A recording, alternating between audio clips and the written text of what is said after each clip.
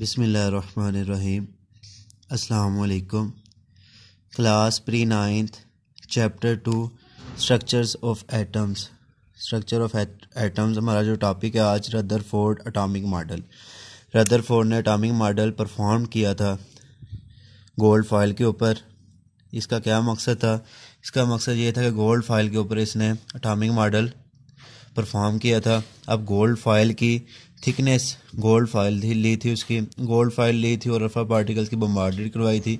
अब gold file क्या है? गोल्ड फ़ाइल की उसने थिकनेस ली zero point zero zero zero zero four centimetre thickness उसने क्यों इतनी कम ली? क्योंकि जो अल्फ़ा पार्टिकल्स हैं, वो पेनिट्रेट कर सके।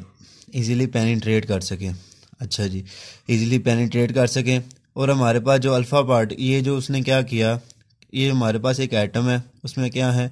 उसका ये करने का पर्पज़ क्या था, मैं आपको समझाता हूँ। क्योंकि देखिए, हमारे पास एक न्यूक्लियस है न्यूक्लियस में क्या होता है? प्रोटॉन पॉजिटिव चार्ज होता है, और उसके इर्द गिर्द क्या होता है? एक शेल और इलेक्ट्रॉन से रिवॉल्व कर रहे होते हैं। उसका पर्पज़ क्या था? नेगेटिव और पॉजिटिव चार्ज कैसे को एग्जिस्ट कर सकते हैं? करने का पर्पज़ उसका पर्पज़ ये था कि कैसे कर सकते हैं नेगेटिव और पॉजिटिव चार्ज अल्फ़ा पार्टिकल्स लिए उसने। अब अल्फ़ा पार्टिकल्स क्या होते हैं? अल्फ़ा पार्टिकल्स क्या चीज़ है? Some elements are radioactive in nature कुछ एलिमेंट्स रेडियो एक्टिव होते हैं नेचर में। क्या रेडियो एक्टिव इन नेचर होते हैं? कि वो एलिमेंट्स जिनका अटामिक नंबर पीरियोडिक टेबल में, जिन एलिमेंट का अटामिक नंबर 83 से ज़्यादा हो, वो एलिमेंट जिनका अटामिक नंबर पीरियोडिक टेबल में 83 से ज़्यादा हो। अब वो क्या जी? वो रेडियो एक्टिव एलिमेंट्स क्या होते हैं? Radio active radio active elements बेटा अनस्टेबल एलिमेंट्स होते हैं नेचर में, जो हर वक्त अल्फ़ा पार्टिकल्स और बीटा पार्टिकल्स को अमिट करते रहते हैं। तो इनके मिशन के रिज़ल्ट में क्या होता है? अल्फ़ा और बीटा पार्टिकल्स के मिशन के रिज़ल्ट में रेडियो एक्टिव एलिमेंट खुद डी जनरेट हो जाते हैं। जब खुद डी जनरेट होंगे या डीकम्पोज होंगे तो उसके रिज़ल्ट में नए एलिमेंट बन जाते हैं।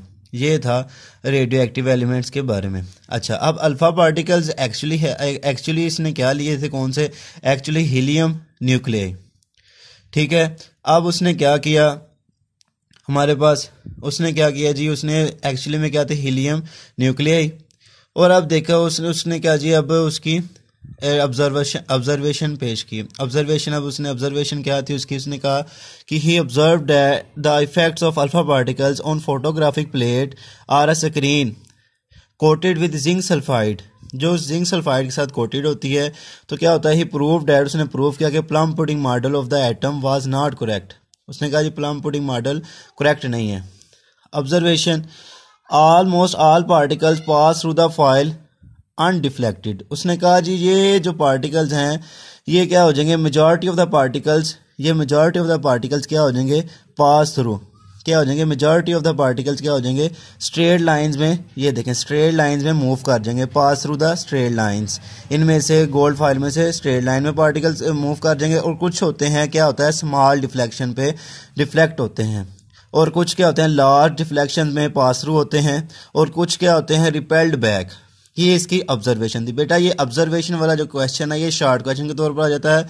बाकी जो रदर फॉर अटामिक मॉडल वाला क्वेश्चन है, वो लॉन्ग क्वेश्चन के तौर पर ही पूछता है। उसमें क्या होता है? Rutherford atomic model observation आगे नेक्स्ट रिज़ल्ट और डिफेक्ट्स वो लॉन्ग क्वेश्चन पे आ जाता है। जो लॉन्ग क्वेश्चन बने तो लॉन्ग क्वेश्चन भी पूछ लेता है। अच्छा जी ऑब्जर्वेशन में क्या almost all particles pass through the foil undeflected क्या हो जाते हैं? वो अनडिफ्लेक्टेड हो जाते हैं, वो pass through the pass through the foil में से डायरेक्टली पास कर देते हैं। क्या कर देते हैं? वो स्ट्रेट लाइन में मूव कर देते हैं। Pass through the foil in straight lines out of the twenty thousand particles only few were deflected क्या होता है? Twenty thousand particles only a few were deflected at fairly large angles and very few bounce back on hitting the gold foil ये आपको दिखाया गया, मैं आपको बताया भी कि ट्वेंटी थाउज़ेंड पार्टिकल्स हैं, उनमें से क्या होता है, कुछ पार्टिकल्स क्या होते हैं डिफ्लेक्ट हो जाते हैं स्मॉल स्केल पे, और कुछ क्या हो जाते हैं लार्ज रिफ्लेक्शन होती है, और कुछ की क्या होती है बाउंस बैक हो जाते हैं। अस्सलाम वालेकुम। इसमें से बेटा यही है कि लॉन्ग क्वेश्चन पूछे। तो लॉन्ग क्वेश्चन में क्या आपने इसकी बतानी है? लॉन्ग क्वेश्चन के तौर पर रदरफोर्ड के बारे में बताना है और इसका बताना है scattering of alpha particles by atoms of gold foil और ऑब्जर्वेशन रिजल्ट्स और रिजल्ट्स भी कभी पूछ लेता है, कोई दो से रिज़ल्ट पूछ लेता है और आगे नेक्स्ट जो होता है डिफेक्ट्स भी शार्ट क्वेश्चन के तौर पर पूछ लेता है। अस्सलाम वालेकुम।